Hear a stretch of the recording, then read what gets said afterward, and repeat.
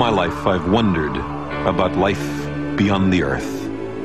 On those countless other planets that we think circle other suns, is there also life?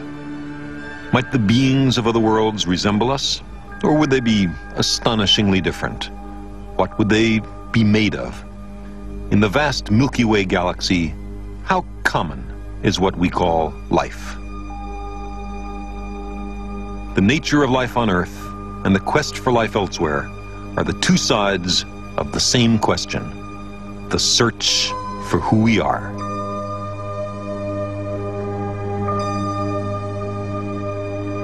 All living things on Earth are made of organic molecules, a complex microscopic architecture built around atoms of carbon. In the great dark between the stars, there also are organic molecules in immense clouds of gas and dust. And inside such clouds, there are batches of new worlds just forming. Their surfaces are very likely covered with organic molecules. These molecules almost certainly are not made by life, although they are the stuff of life. On suitable worlds, they may lead to life. Organic matter is abundant throughout the cosmos, produced by the same chemistry everywhere. Perhaps, given enough time, the origin and evolution of life is inevitable on every clement world. There will surely be some planets too hostile for life. On others, it may arise and die out, or never evolve beyond its simplest forms. And on some small fraction of worlds, there may develop intelligences and civilizations more advanced than ours. All life on our planet is closely related. We have a common organic chemistry and a common evolutionary heritage, and so our biologists are profoundly limited.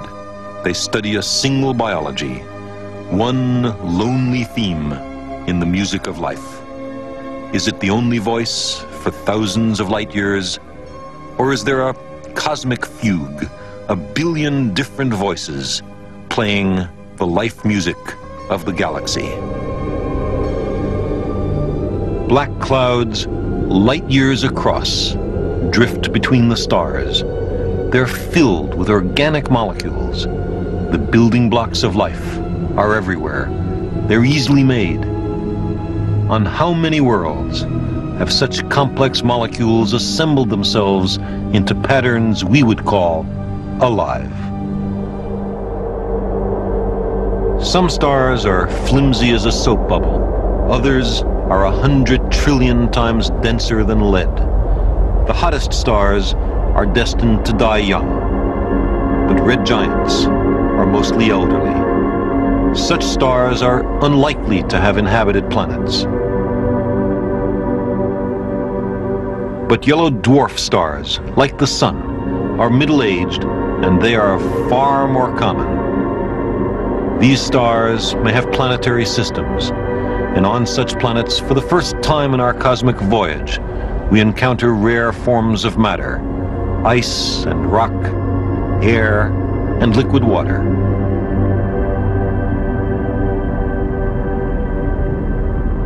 Close to this yellow star is a small, warm, cloudy world with continents and oceans. These conditions permit an even more precious form of matter to arise, life.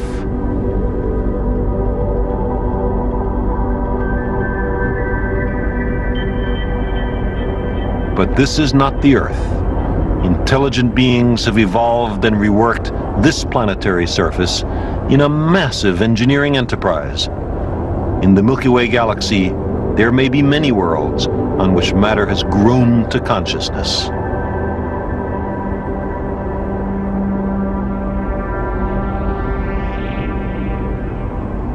I wonder, are they very different from us? What do they look like?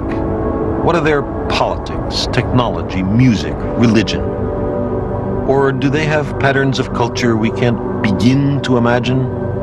Are they also a danger to themselves. The molecules of life fill the cosmos. Now, what would life elsewhere look like? Even if it had an identical molecular chemistry to life on Earth, which I very much doubt, it could not be similar, very similar, in form to familiar organisms on the Earth. The random character of the evolutionary process must create elsewhere creatures very different from any that we know. Think of a world something like Jupiter, with an atmosphere rich in hydrogen, helium, methane, water, and ammonia, in which organic molecules might be falling from the skies like manna from heaven, like the products of the Miller-Urey experiment. Could there be life on such a world? Well, there's a special problem. The atmosphere is turbulent, and down deep, before we ever come to a surface, it's very hot. If you're not careful, you'll be carried down and fried. So one way to make a living is to reproduce before you're fried. Turbulence will carry some of your offspring to the higher and cooler layers. Such organisms could be very little. We call them sinkers. The physicist E. E. Salpeter and I at Cornell have calculated something about the other kinds of life that might exist on such a world. Vast, living balloons could stay buoyant by pumping heavy gases from their interiors or by keeping their insides warm. They might eat the organic molecules in the air or make their own with sunlight. We call these creatures floaters. We imagine floaters kilometers across, enormously larger than the greatest whale that ever was, beings the size of cities. We conceive of them arrayed in great lazy herds as far as the eye can see, concentrated in the updrafts in an enormous sea of clouds. But there can be other creatures in this alien environment, hunters. Hunters are fast and maneuverable. They eat the floaters, both for their organic molecules and for their store of pure hydrogen. But there can't be many hunters, because if they destroy all the floaters, they themselves will perish.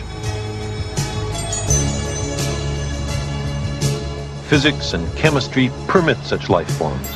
Art presents them with a certain reality. But nature is not obliged to follow our speculations.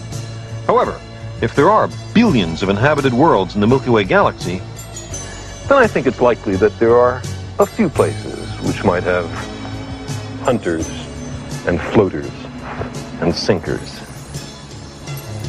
Biology is more like history than it is like physics. You have to know the past to understand the present. There's no predictive theory of biology, just as there's no predictive theory of history. The reason is the same. Both subjects are still too complicated for us. But we can understand ourselves much better by understanding other cases.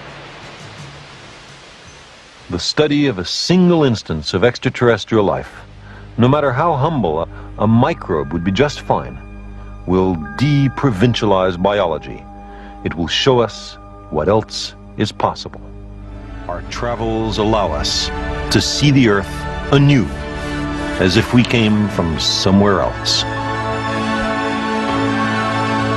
There are a hundred billion galaxies and a billion trillion stars. Why should this modest planet be the only inhabited world? To me, it seems far more likely that the cosmos is brimming over with life and intelligence. But so far, every living thing, every conscious being, every civilization we know anything about lived there, on Earth.